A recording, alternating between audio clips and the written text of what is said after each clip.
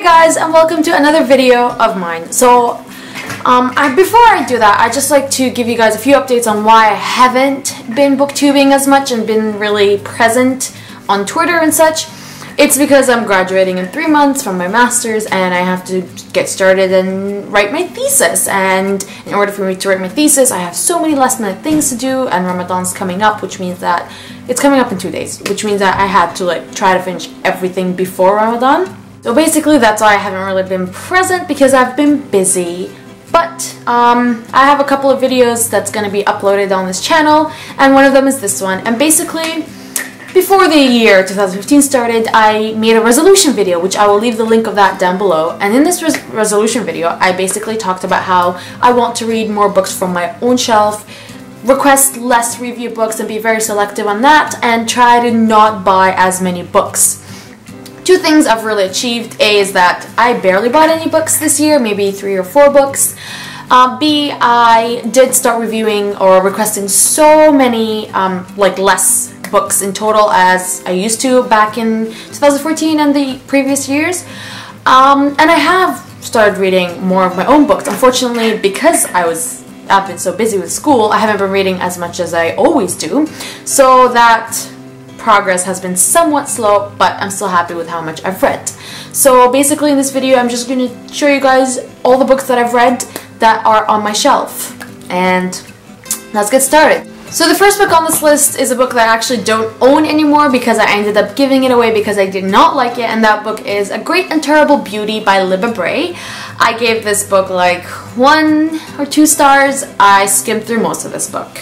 The next book that I read is Bunheads by Sophie Flack. This is a ballerina type book and I love books that are centered around dance and such and I did end up fairly enjoying this one and I gave this 3 stars. I also ended up reading Shadow Kiss by Richelle Mead which is the third book in the Vampire Academy series and I actually fairly enjoyed this one. I ended up giving this 4 out of 5 stars. I finally picked up Dangerous Girls by Abigail Haas. I really enjoyed this one. I enjoyed the mystery and being able to guess what's going on or who killed who and like who's lying and such and I ended up uh, buddy reading this with my friend back in Dubai. We literally had Skype open and we were reading at the same time throughout the whole night.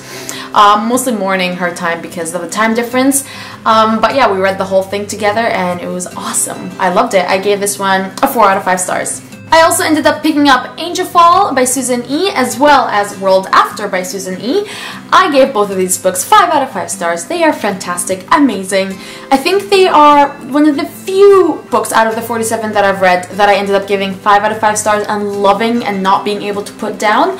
This book, this series is just fantastic and I already ordered um, End of Days by Susan E. online yesterday actually so I am dying for that to come in because I needed to complete my beautiful collection as well as read it because this is just a really good angel not really angel, like post-apocalyptic series. Really good. I also ended up reading The Kiss of Deception by Mary E. Pearson, and another, another one of those books that I ended up buying because I was dying to get and then shelving it for months. So I finally read this one. Unfortunately, I didn't really like it. I ended up giving it 2.5 to 3 stars and um, yeah, I will not be continuing on with the um, series. And one thing I already guessed who the prince was and who the assassin was from the first time I met both of them. So it's kind of obvious. And then nothing else happened after that. I then read another one of my most anticipated books of 2015 and it is P.S. I Still Love You by Jenny Han, the sequel to To All the Boys I've Loved Before.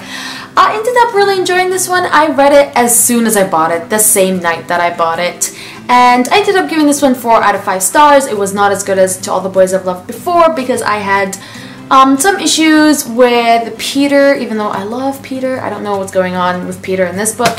And um, yeah, I thought it was slightly immature. Um, there were a lot of immature scenes into All the Boys I've Loved Before, but they were very quirky and cute, and I was able to not, you know, get get stuck on how immature they were, but in here, a lot of things kind of pissed me off. But I still ended up giving it 4 out of 5 stars. And the most anticipated books keep rolling. Another one is Willowgrove by Kathleen Peacock, the third and last book in the Hemlock trilogy, which is one of my all-time favorite trilogies. Um, funny thing is that my friend, the one who lives in Dubai, Bana, recently read all three books back to back and she is also in love with this series. It's a werewolf series trilogy, so if you guys haven't checked it out, you definitely should because it gives a very different take on werewolves. It's more of like a mystery thriller with werewolves and it's not as much paranormal as it is contemporary. And basically werewolves are people who have Lupine syndrome, so they're basically people who have a disease and it makes them turn into wolves.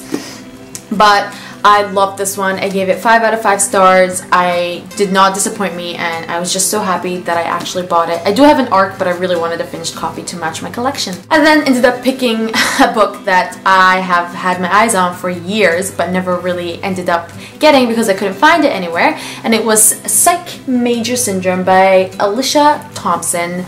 This is a book where it was published before the NA genre really happened, and this is uh, about a girl who's in university, but it's shelved as YA.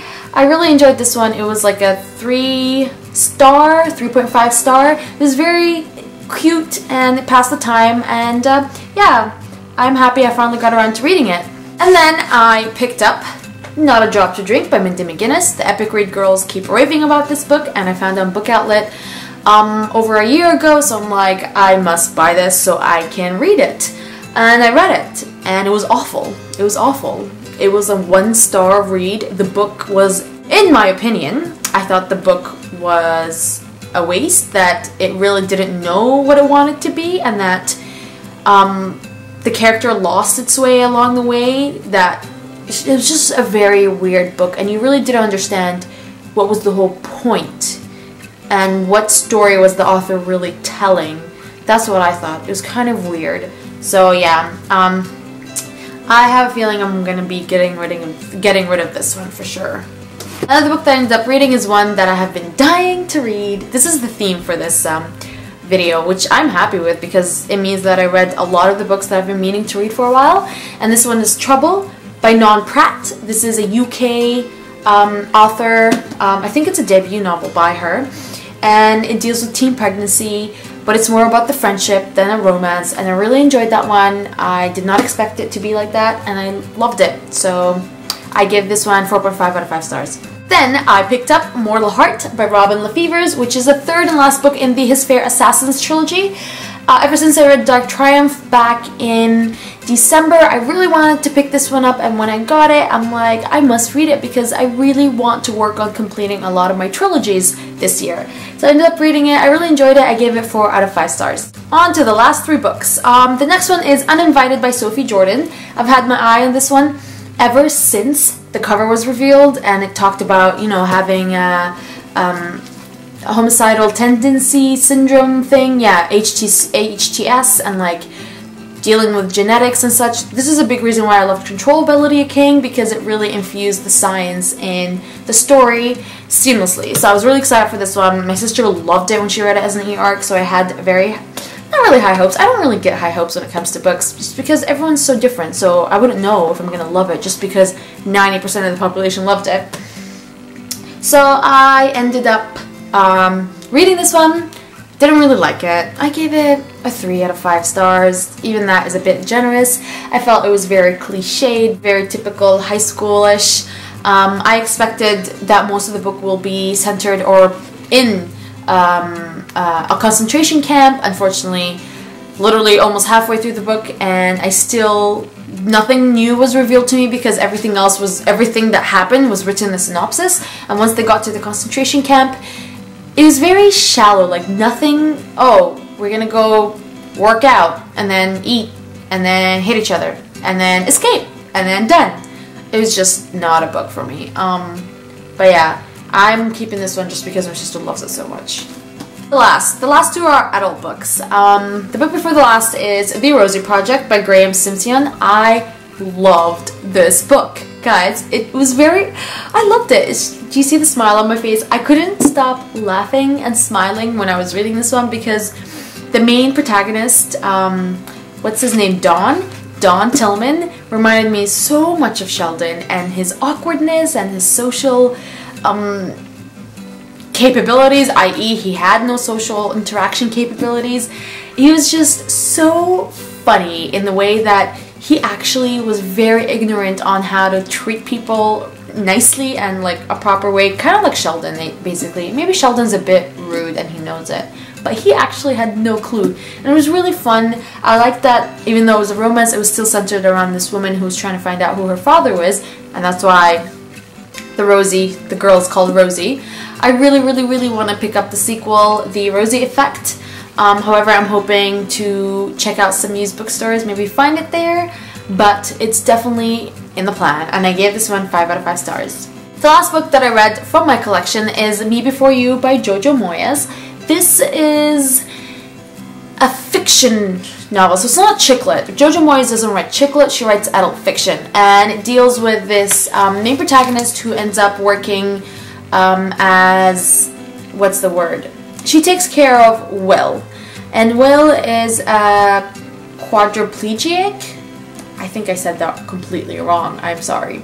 But basically, he has a chip on his shoulder, and he really, like, he was a very successful businessman and such, but then um, a car hit him while he was walking, crossing the street, and he ended up in a wheelchair, cannot, he doesn't have um, any control over his, his arms or his legs.